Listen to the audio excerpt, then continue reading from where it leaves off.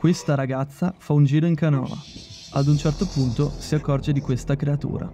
Tira sulla pagaia e rimane completamente immobile, terrorizzata. La lunghezza di questo squalo è impressionante. Cosa avresti fatto se ti fossi ritrovato in questa situazione? Scrivilo nei commenti.